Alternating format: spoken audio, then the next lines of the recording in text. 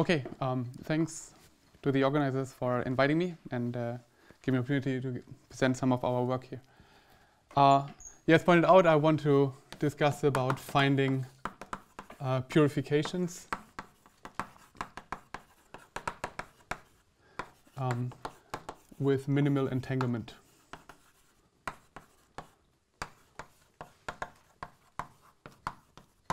And this is a work uh, done together with Johannes Hauschild, who is a student in Munich, and it's published in arXiv 1711 01288.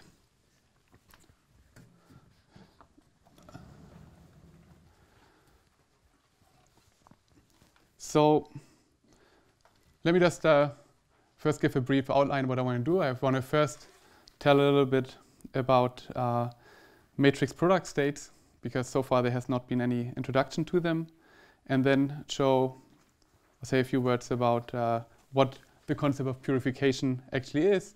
And then I'm going to bring this together and show how we can then uh, use matrix product states to simulate um, mixed quantum states. And the main results that I want to show is that, so the main result.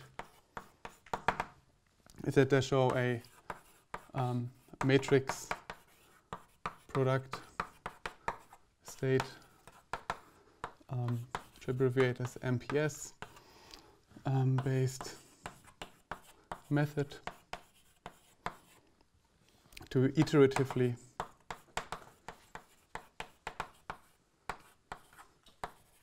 minimize the entanglement.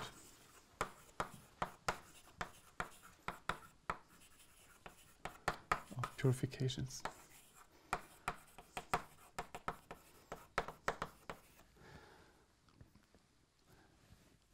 So let me now start by introducing matrix product states because I assume that not everyone is familiar with this concept.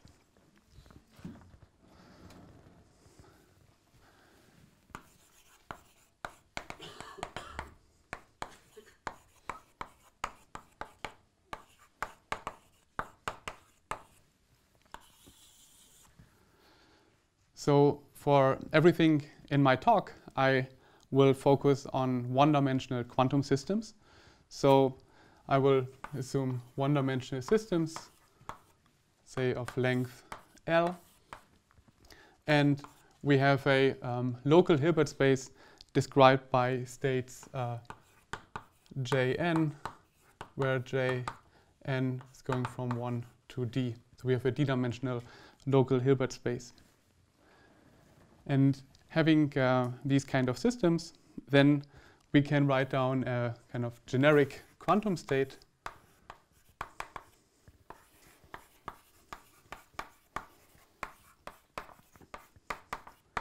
Can then be written as psi it's just the sum over all j1 to jl over some amplitude in a many-body wave function times the product state basis J2, oops, J1, JL. So this is now a gen kind of generic state. So every state in this system, this many-body system, can be expressed in, in this form.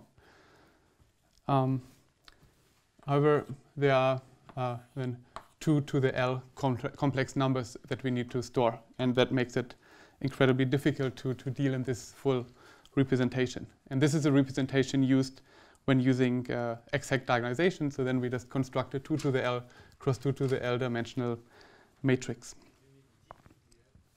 Oops, thanks. And uh, it would be 2 for a spin 1 half system. Now, this state can then be re rewritten in terms of a matrix product state uh, MPS representation.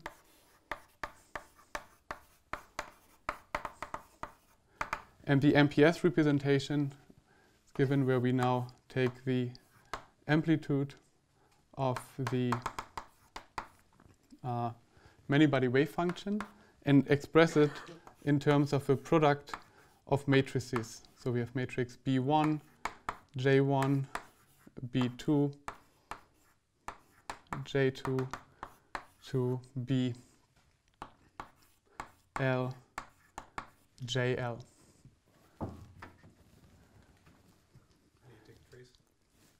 No, um, these are now different matrices. So there's some index. So the first matrix here would be, say, a 1 cross d-dimensional matrix, and the last matrix would be a d cross one-dimensional matrix. So in generic, the, the um, dimension of these matrices would be uh, chi n cross chi n plus 1 uh, cross d. So, so this is now a one-dimensional system with open boundary conditions. Uh, and in fact, every quantum state that we can write down on this Hilbert space can be brought into this form by uh, uh, successively applying Schmidt decompositions of the state. Right? So say that we first start from a state in a full representation, and now we can successively do uh, Schmidt decompositions at these bonds, and by this bring it into this form. I mean, I was not planning to tell you exactly what the algorithm is or the um, uh, sequence, what you have to apply to actually get it into this form, but you can bring every quantum state into this form. So every quantum state it uh, can be brought um, into this form. Say it again, please. What are the dimensions of the intermediary matrices? Can you say it again or an example? So say that we take a generic quantum state uh, and we just follow this procedure that I just advertised, like uh, where we where we use this um, singular value decomposition. Then we would, for example, do uh, first a bipartition between the first spin and the last spins, and do then a Schmidt decomposition.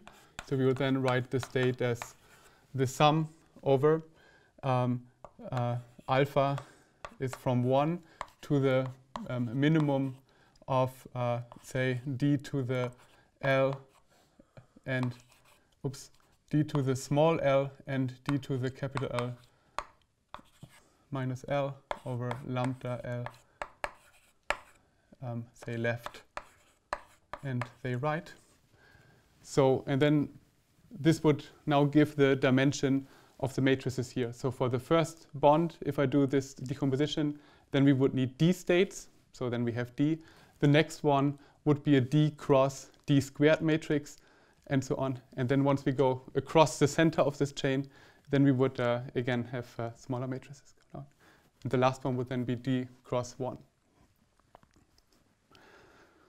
So if we kind of follow this kind of generic uh, procedure, then it actually doesn't help us much because here we had uh, kind of exponentially increasing uh, Hilbert space. And now, if you just choose this representation of matrices, then we actually have now, um,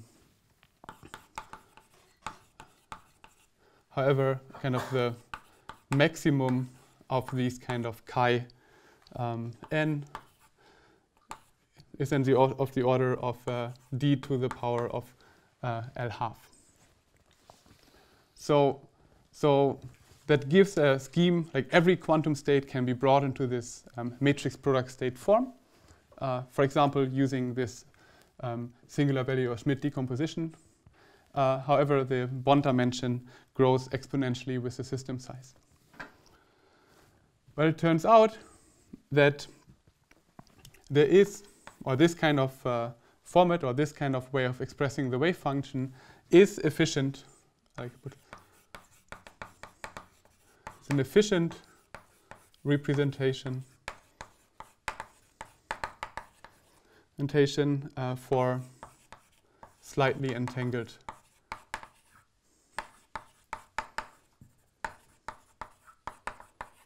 entangled systems.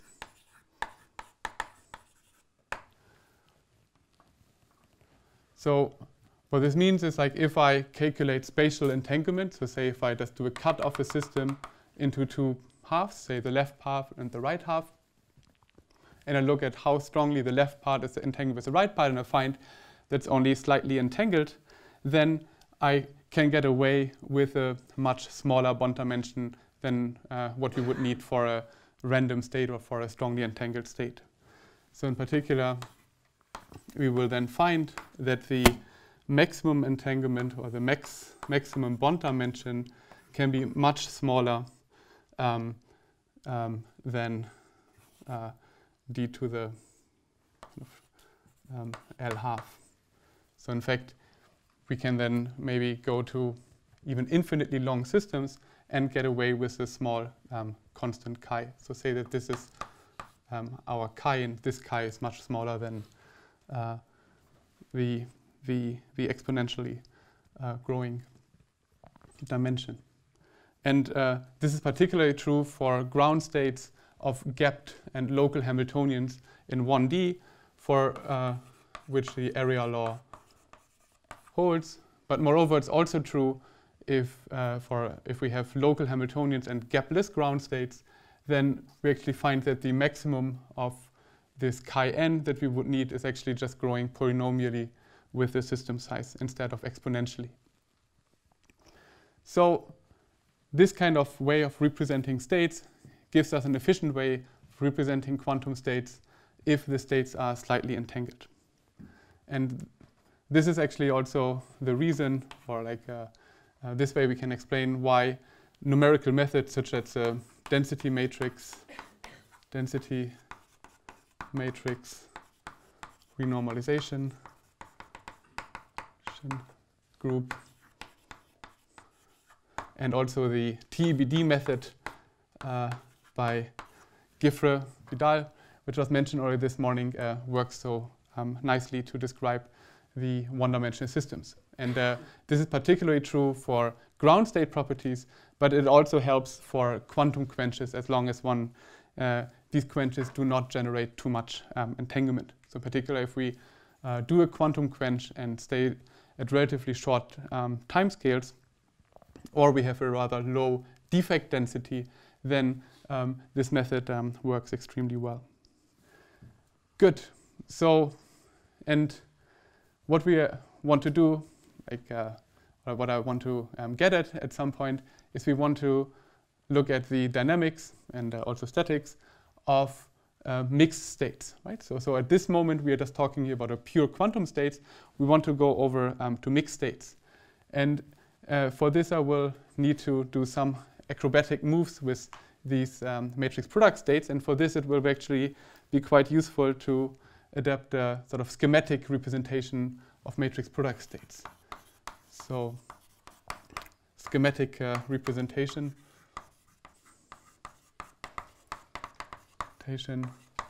of matrix product states or actually in general. um, so what I want to do is uh, uh, instead of matrices and uh, scalars, etc., I'm going to just write some symbols. So for example, if I just write uh, a circle with nothing sticking out, that would be just a, a, complex number, for example, some c. If I just write a circle with some line sticking out, then this would be just some vector with one index. Uh, and if two indices are sticking out, then it's just a matrix Mij. And moreover, we can just use it to uh, contract or um, if we have like uh, if we contract various tensors. So for example, uh, a matrix matrix multiplication would just be something like this. We take two matrices and we just uh, connect this line, uh, and then this is now the matrix product. Right? We have like the matrix M and the matrix N, and we just multiply them by contracting over one index. So using uh, this tensor or Penrose representation, we can write down the full many-body wave function. It's something like this. It's like a, a brush. So we, have the, the wave function is a big um, rank uh, or order L tensor, and then we have here uh, L legs sticking out. And, and of course, to represent this object, we then need uh, um, d to the l complex numbers. And when we write it, uh, or when we compress it in terms of a matrix product state, then we just write it in, in this form. So now here we have then the matrices B1 to BL. And then we see that if we contract all of them together, then we actually get this blob that we, um, uh, where we have then the full wave function.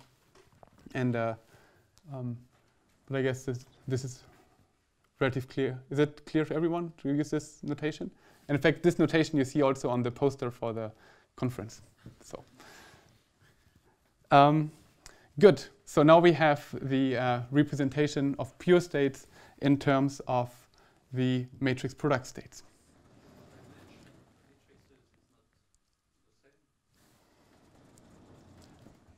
No, the matrix, so if we just follow um, this example here, then the first matrix will have the dimension of 1 cross D cross D, right? So, so this is now the, the last one, the last D.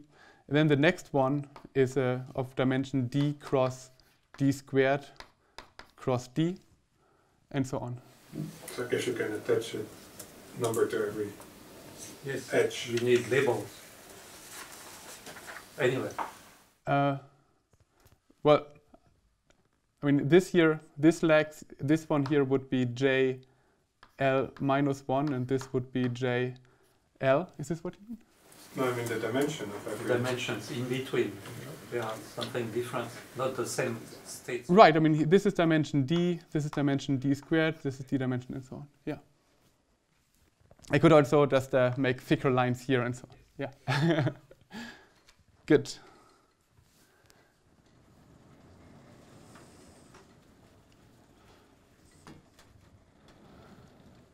Okay, so this is um, how we can deal with pure quantum states. And now I actually um, want to come to um, how we can purify mixed states, right? So because in many cases we would like uh, to work with mixed states. So for example, if we want to look at the dynamics at finite temperatures, or if we want to look at uh, um, uh, quenches at uh, finite temperatures, etc. So then there are many cases where we're actually interested not in the dynamics of uh, pure states, but we like to simulate mixed states. But this framework, first of all, gives us a powerful way to simulate uh, pure states. So, and for this, I uh, want to introduce the concept of purification.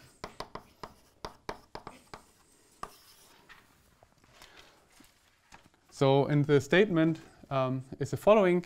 So, we have a, a density matrix.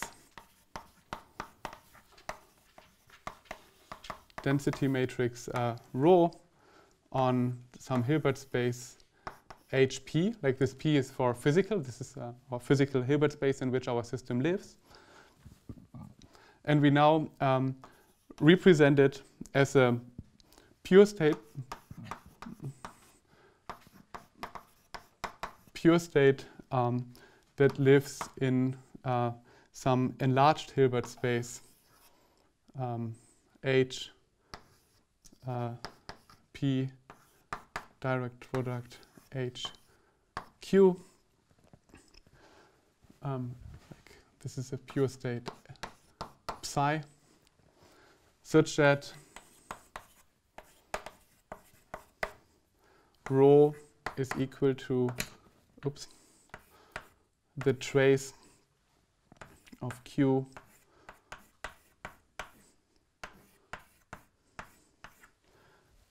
So we just enlarge the, the Hilbert space um, such that we can, such that the density matrix that we are interested in is um, on. so, so that the um, density matrix that we actually, the mixed density matrix that we're actually interested in is the reduced density matrix calculated from the density matrix of psi by tracing out these um, subsystem. And in fact, it is always, always sufficient, sufficient to choose um, HQ identical to H physical. So formally, formally we can always um, find a um, we can um, on, formally we can always find uh, we can always find the purification um, find psi by diagonalizing analyzing uh, rho and in for um, thermal steady states this gives us the thermofield uh, double. Which means we have then psi of beta equal to 1 uh, to 1 over z times e to the minus beta e n half times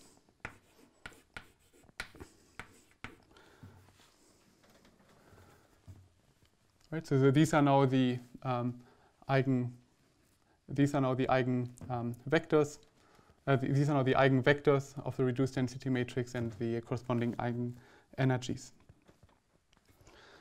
Uh, however, this is not a um, unique representation. So the um, thermal field thermal field double is only uh, one possibility, one possible possible purification. And in fact, the um, physical density matrix is independent of uh, of unitaries acting on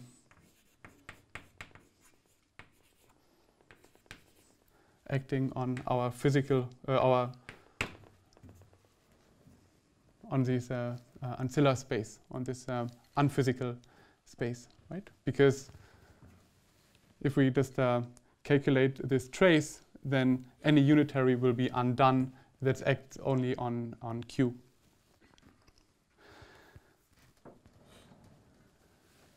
And while it doesn't matter for, I mean, if we're just interested in some purification to get our uh, physical density matrix back, every, I mean, it doesn't matter what kind of purification we choose. However, our kind of uh, um, goal is to actually use matrix product state or this matrix product state formalism for these purified states. And for this matter, we actually want to keep the entanglement um, low. So we want to be able to represent the purification with a relatively small bond dimension. So what we actually, and this is now the, the main goal of what I want to show, is we actually want to choose want to choose the unitary, which we can call um, U Q or U ancilla, uh, such that it such that it minimizes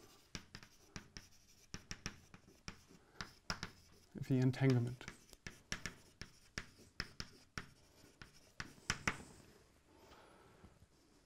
And then there's actually a name for this. So if we find the, um, uh, the minimally entangled uh, purification, we call it the um, entanglement of, of purification.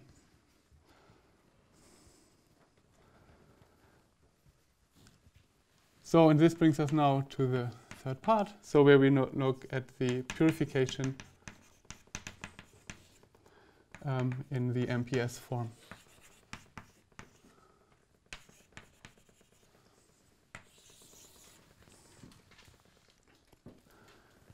So, What entanglement? I mean, oh, thanks. So, the entanglement that matters to us, or like, um, in order for the representability in terms of the MPS, is the um, spatial entanglement between the degrees of freedom. So, if we have uh, our kind of purified state living on, on this kind of physical system. The and now our state psi is defined on, on this system, where we now doubled the degrees of freedom on each side.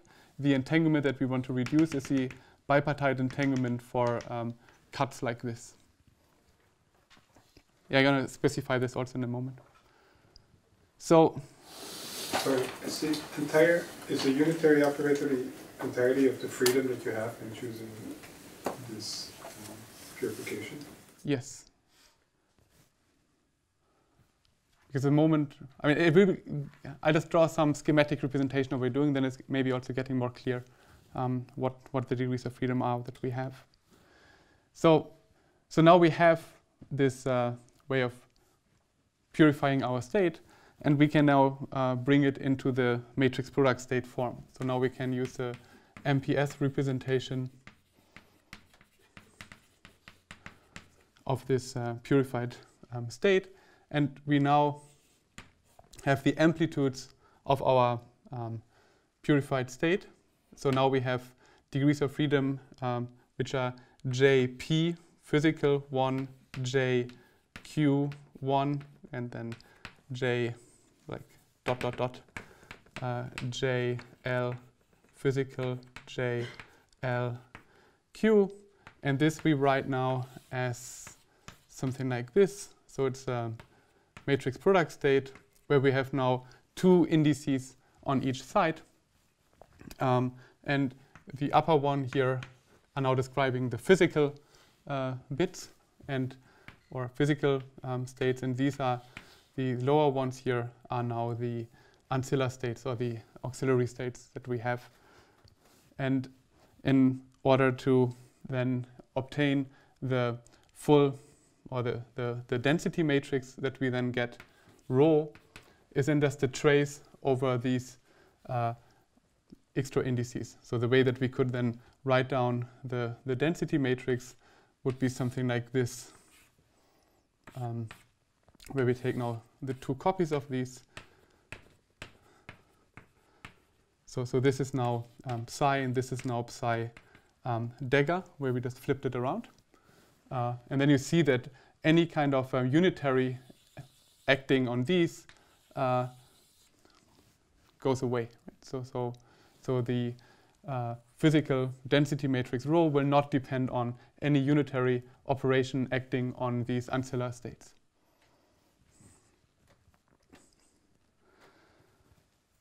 So, so how do we work with these purifications now? So, so now we, we actually know how to express uh, density matrix into this form, but the, uh, like the, the way that I presented here to get a purification would actually require to completely diagonalize our density matrix. This is something that's certainly not feasible for a, uh, a larger system or for a sizable system. So how do we do this?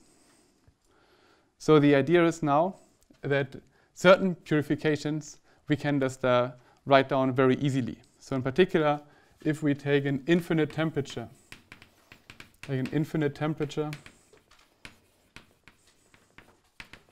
temperature purification, um, infinite temperature uh, thermo field double, um, can easily easily represented. Easily represented. And in particular, if we have the, uh, I call this now psi naught because beta is not, uh, uh, beta is uh, zero, uh, can then be expressed simple as a product state of um, identities, right? So in particular, this corresponds just to a um, product over all all sides.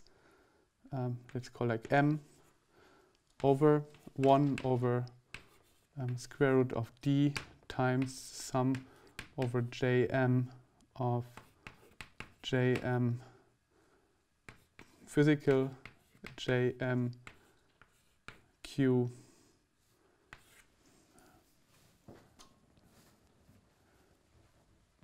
So, so now we actually know how to write down the infinite temperature uh, um, thermal field double or like the, the purification of an infinite temperature state is now really simple.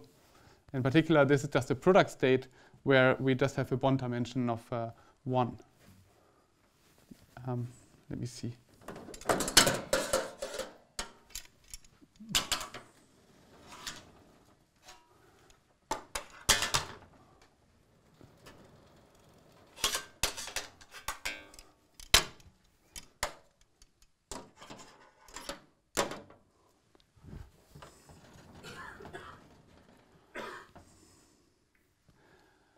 So, so now we have the um, state at um, infinite temperature, which is uh, incredibly simple to write down. In particular, it's very well suited for being represented as a matrix product state because it's just a simple product state. So, and to go from here to um, finite temperature states, we can then um, use kind of well-known MPS techniques, for example, the TEBD algorithm to go to finite temperatures. So finite, finite temperature states obtained by imaginary time time evolution.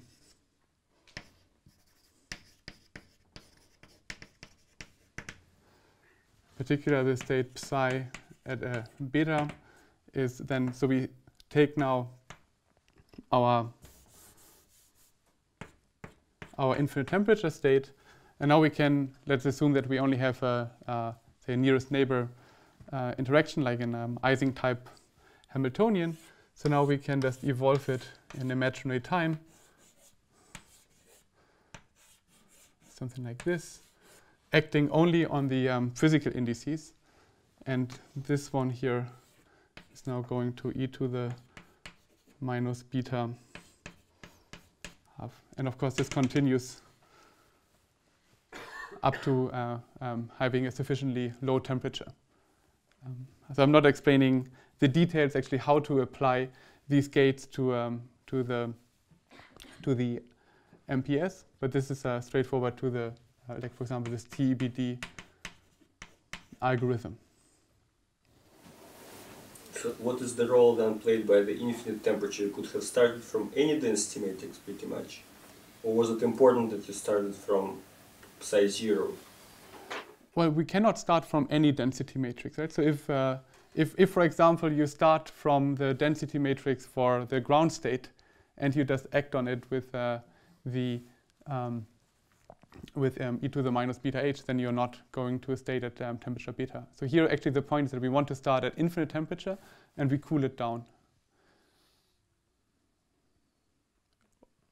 Does it make sense? There must be still some freedom. So, is there some freedom from where you start when you apply this? Yes, the freedom we have, and this is uh, what I pointed out here, we have a, degree of freedom on the uh, uh, these ancilla indices. Right? So we can we can basically apply any unitary um, to this auxiliary um, degrees of freedom. And this is, well, this will in fact be the, the main part what we want to use. So, so we want to choose the, um, so, so, so this is actually the main part that we want to um, find the purification that's best suited for us. We want to particular find a purification where the entanglement is um, reduced. Right? And if we, and then this is actually what I um, want to um, come to now. So now I want to reducing the entanglement.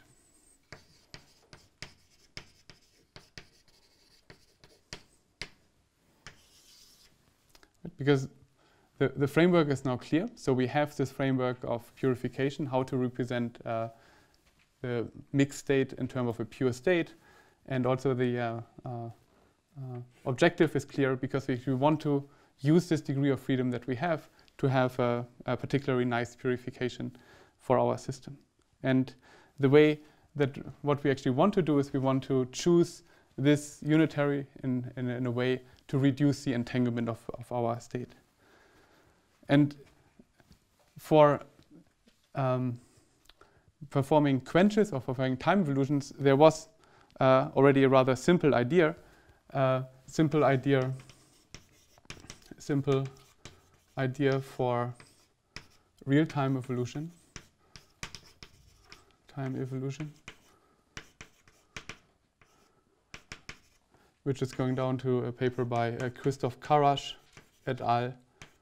a while ago, was to uh, um, perform um, perform a, a backward backward time evolution evolution on the uh, uh, ancilla indices.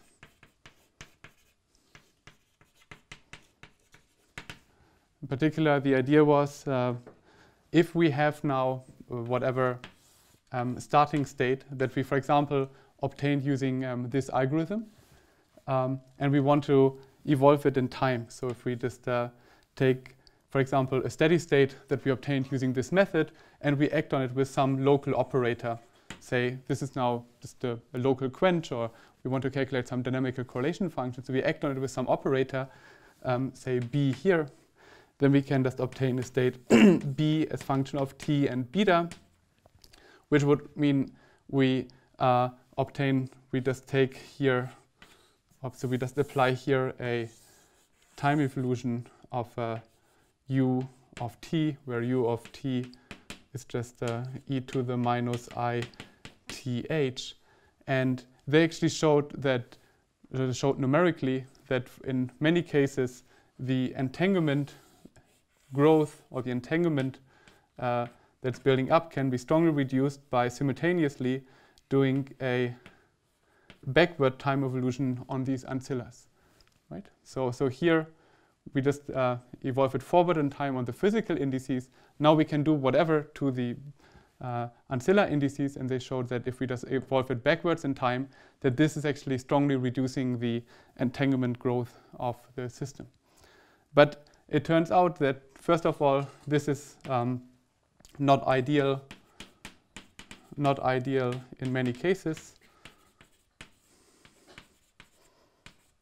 And moreover, it doesn't work uh, whenever we do imaginary time evolution. So it does not work does not work um, for um, uh, imaginary time evolution.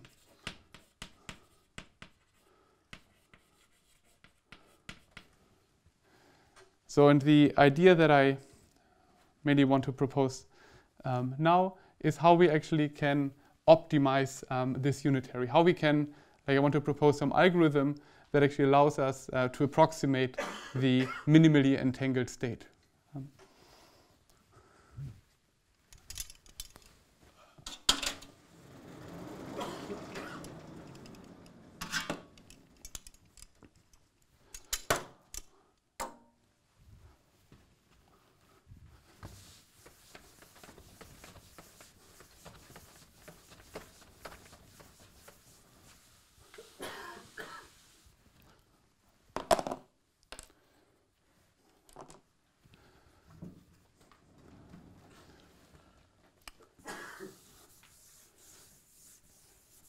So the idea now is the following. So we are using uh, the method that I just introduced. So we use this uh, uh, kind of bond-wise uh, time evolution. So we um, follow we follow each each trotter step step um, by acting with a row of uh, disentanglers. Yes, um, um, and in particular, what we're doing, we um, minimize the um, second uh, entropy.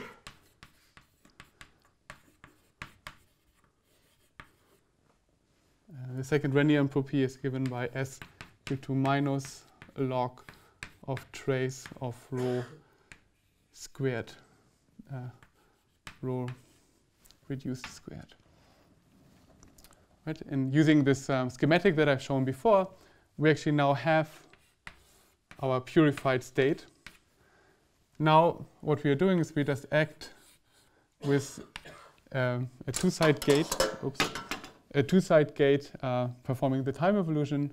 Uh, so this is now our u time, and now we iteratively uh, try to remove as much as entanglement as possible by some u uh, disentangler. And the way that we find it is by numerically or uh, iteratively minimizing the second um, Renyi entropy. Uh, and the reason why we choose the second Renyi entropy is because we can actually nicely calculate it in a, in a closed form. Uh, uh, particular what we are interested in, we are interested in calculating the trace of rho squared. So, so we want to maximize the trace of rho squared. And we can simply calculate uh, trace of rho squared the following way. So if we just cut out, just say this block that we are now actively working on, then if I just write it in this form, what this actually is, this is basically, this is now my state um, given in a, in a mixed representation. So this is in the everything left of this blob, it is expressed in terms of the Schmidt states to the left. Everything right is ex expressed in terms of Schmidt states on the right.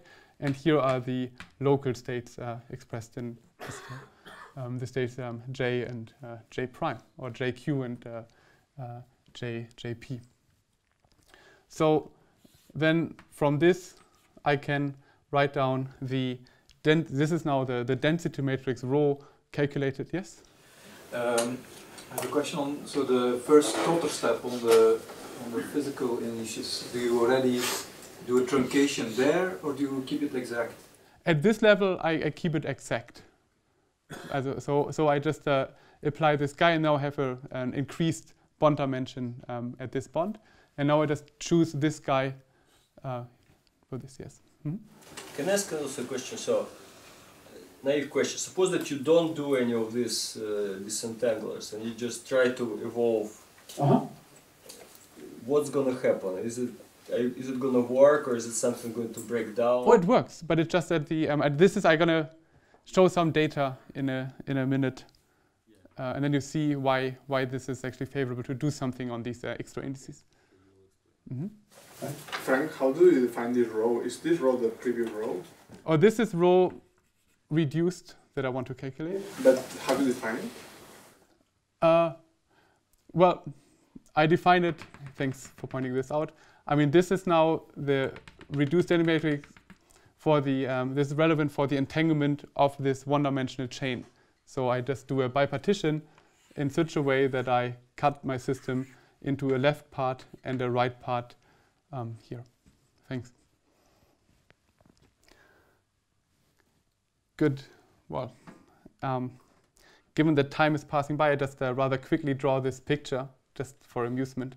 So, so this is now what we have now. This is now the density matrix calculated for the full state. So, so this is now just uh, psi psi.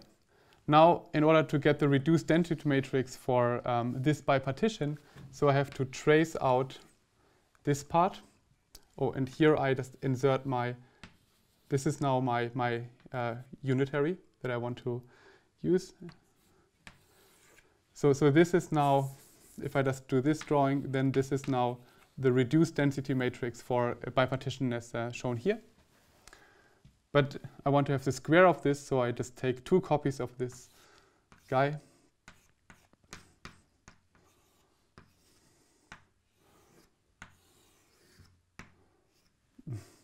And now I can just uh, multiply these. Now this is a rho reduced times rho reduced. And I can calculate the trace by just multiplying, by contracting these indices. So, so this is now uh, the trace of rho reduced um, squared. uh, and this is the expression that I want to minimize, uh, maximize. And there are different ways that I can do this. I can now use a gradient descent method to do this, or I can uh, use a, a, method that also used for, well, it's very well known. So if I just want to uh, optimize it with respect to uh, the constraint that this to being unitary, then one can use a trick that one is just calculating the derivative with respect to u, and uh, then uses a polar decomposition. But, but there are some technical details. Then we have some algorithm that converges relatively well to actually maximize this, and by this minimizing the um, entropy. And now let me just uh, then um, come to some of the, the results, uh, the numerical results that we get applying this algorithm. um,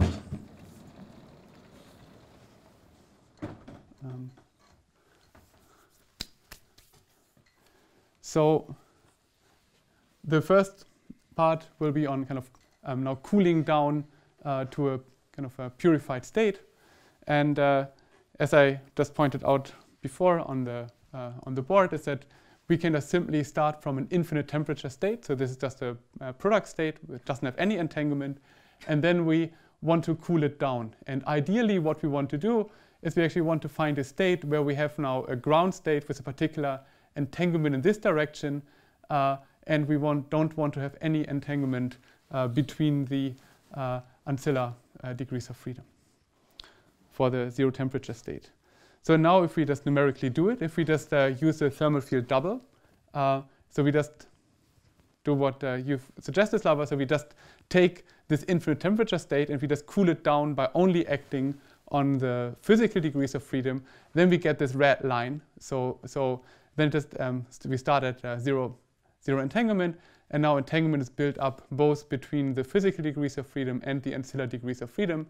And what we actually then find is twice the entanglement of the actual ground state because it's a direct product of the ground state on the physical degrees of freedom and the ground state on the ancillar degrees of freedom. If, however, we are using um, this uh, technique to, to iteratively minimize the entanglement, then we get this uh, purple line or this bluish line uh, where we actually see that first it looks quite similar to what we get without doing anything, but then the entanglement is gradually uh, reduced and eventually we are finding exactly the um, uh, entanglement of, of just a single copy of, of the ground state. And we also see that this is not done very continuously because this means that here it doesn't converge perfectly fine, so it's just getting stuck for a while and then only it's uh, removed a little bit later on. So, so that clearly um, can uh, use some further improvement, I guess. So and why is this nice? So if we actually can do this perfectly, so if we don't have uh, uh, artifacts from getting some tails in the uh, distribution of the Schmidt values, then in principle that means that the bond dimension that we require for efficiently representing the state is actually going to uh, the square root of what we would need without this optimization. Yes? So I don't understand is how, um, so, so there are theorems about the entanglement of low-lying states, right, that say that, that the entanglement is bounded at mm -hmm. 1D. But you're cooling down from, from a product state initially mm -hmm. through, through highly entangled states. Right, but there is indeed also a theorem uh, by, what is this, a, uh, an argument by uh, Thomas Barthel, who actually argues that uh, finite temperature purifications can also be effective, can also be efficiently represented in terms of matrix product states. So, so then we actually do have, uh, we will have some maximum of the entanglement in between where we have uh, um, basically this, uh, this kind of crossover from kind of classical uh, fluctuations to kind of quantum correlations. And, uh, but, but this ma maximum will always be at a finite um, value. And it doesn't matter if your, if your final ground state is critical or something? Or? Um, well, if if we if we uh, well now I'm just uh, I'm not 100% sure this is correct what I'm saying, but what I suspect is that if we have a critical system, then we will only have at zero temperature a uh, um, logarithmic divergence of the entanglement entropy. And any finite temperature, it will actually have an area law. I suspect that this is true for at least for one-dimensional systems.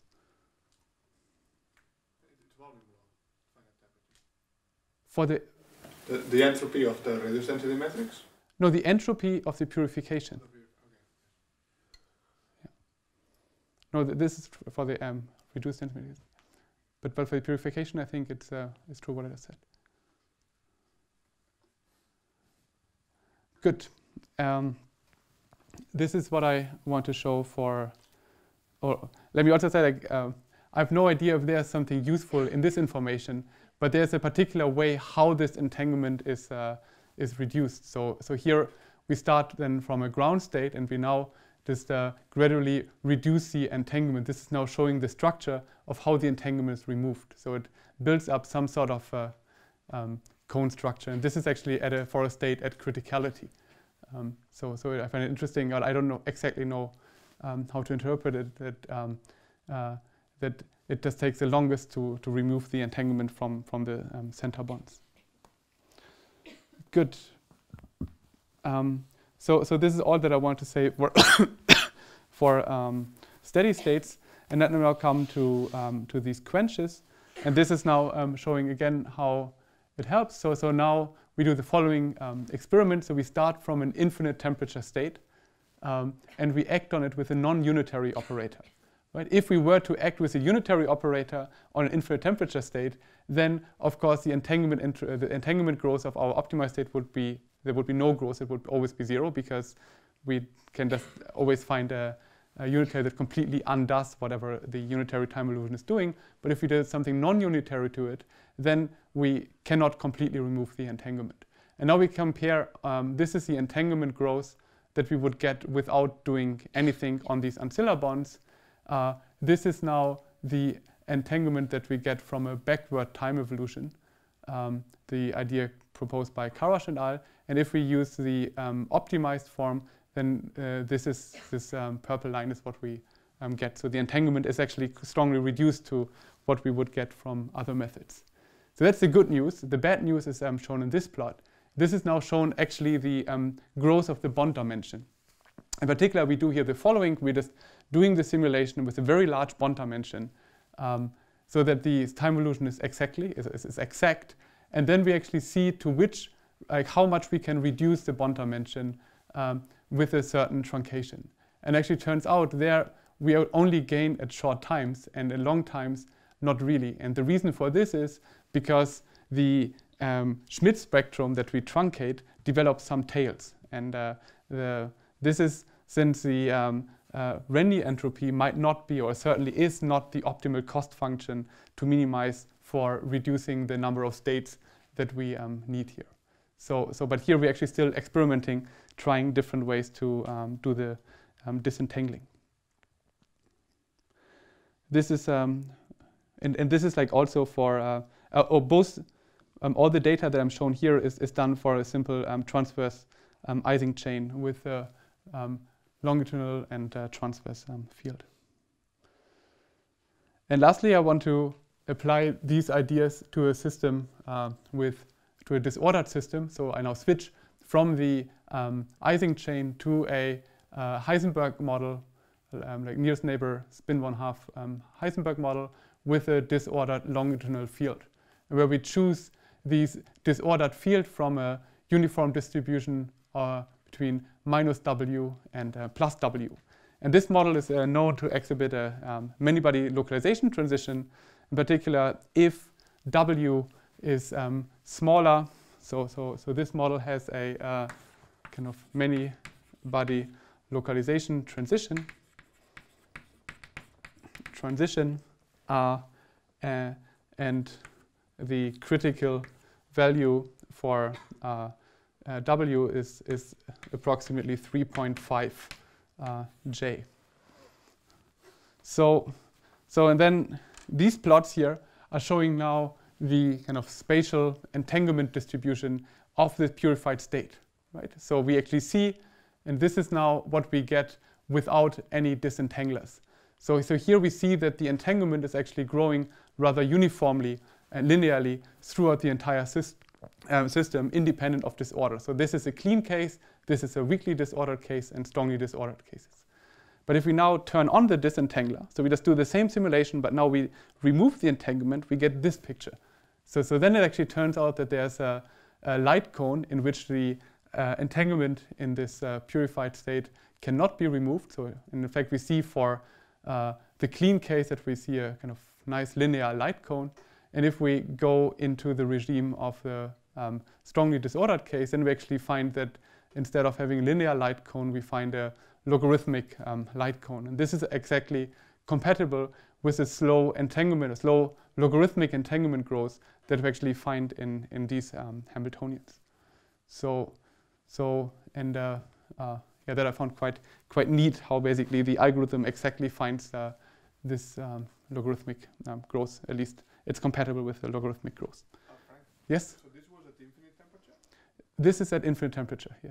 You have infinite temperature. You apply a local quench by flipping a spin. Yes. This is a, yes. This is, um, as, as shown here. So we just I just take my system. I just act with an non-unitary uh, operator, like this S plus operator, on a um, physical spin. And then I just look uh, at the perturbance, like the perturbation done by, by this kind of spin flip. Yeah. So you can clean up a lot of entanglement outside the, this cone. We can only remove, right. But you can completely remove it. Outside the cone, we can completely remove it, as we would expect. Right? Uh, I mean, does, that would also be, be immediately clear from the kind of brick wall structure of these unitaries that whatever is away from this cut, we just can completely remove. And then from this, we, we, we, we would if we always get a light cone, but it turns out if we just localize the system, we can actually also clean it out. Uh, um, that, that was precisely the intention of my question. So this cleanup that you can do, mm -hmm. is it given by the structure of the circuit? No, it's given by the structure of it's by the physics, by the by the by the by the physical speed at which uh, information propagates. Because this is what you see here. That's why I say that. Right, but in the first case, in the first case, you have propagation. So you have the circuit will have its own causal structure. Yes. And then you have the physical propagation. Right, but what we see is the physical. So, so this was not given by the structure. No, but the, the circuit is the same in all four cases here. Right, but in the first case, the circuit was not was not already giving you this causal current. It was slightly different. Uh, oh yeah, of course. I mean, but the, the because the, um, the the structure of the circuit will actually depend on on the time step even, right? So, so so the the circuit of the like here going, I think we used a time step of like 0.1 or something like that. So, so the, the circuit would have already extended far beyond what, what we see here. So, so, there's something I didn't get. So this circuit that you're using to design time, do you do you optimize it local in time or global in time, like on full? Um, the the way that these we, we tried out different ways, um, but the the data that you see here is then we just apply one layer.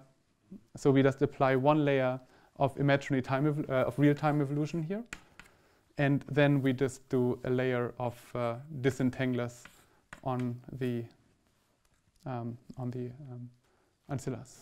So it's just one time step in a sense. Right. Like so, we just do one time step in physical time, and then we do one uh, disentangling sweep. And but it doesn't really matter so much. So we could also do a number of time steps and then remove. But then the picture would look differently because if we just would do a disentangling every n steps, then the entanglement would again grow away from here. But then, I mean, if the goal is minimizing like the final uh, uh, chi, I mean the final bond dimension mm-hmm. from the MPS, shouldn't be like the time-dependent variation of principle already optimal in this respect? Well, but the time-dependent. If you do this optimization that you say locally in time, if you do it globally, I can believe that this thing can mm-hmm. be better. But but then, no, I, I mean, um, in fact, one thing that we thought about, but um, but we haven't implemented it very carefully, is the following: if we have these um, purified states, uh, then if we just use a time-dependent variational principle, uh, how would we implement it? So so then we would uh, act on the um, physical degrees of freedom with a time with a real-time evolution. But the question is like, what do we want? Like, how to act on the ancillary degrees of freedom? And actually one thing that we thought about but we haven't carefully implemented is that we define some sort of entanglement Hamiltonian, which is basically the gradient towards the um, low entanglement states. And then we could use the time-dependent variation principle. But if we just use the time-dependent variation principle on the ancilla degrees of freedom, I think then we would get a similar picture to, to what we see here.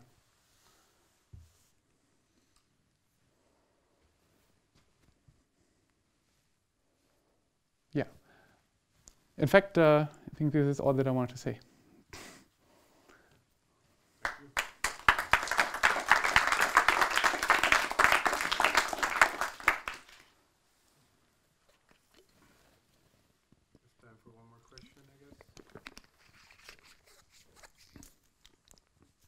Yeah. so this last plot, now is this a, a, different way to, to look for many-body localization transition in large systems? Mm -hmm. Right. I mean, one one thing that again we haven't done very carefully. I mean, why I think this is nice to diagnose many-body localization is that um, here we can now cool down to so so this is now for infinite temperature, which basically includes all states, but we can also cool it down to uh, lower temperatures and then do ex this experiment, then we might just diagnose even the many-body localization, many-body uh, mobility edge. But there are even some questions on the, on the precise location. Can you mm -hmm. even in the middle of the spectrum, where you could think infinite temperature is kind of like the, the middle of the spectrum? So yeah, it might give slightly better data than what we have seen before, but still the problem is that um, if we are in the regime where the system is not many-body localized, the even like the entanglement that we have within this cone is, is significantly.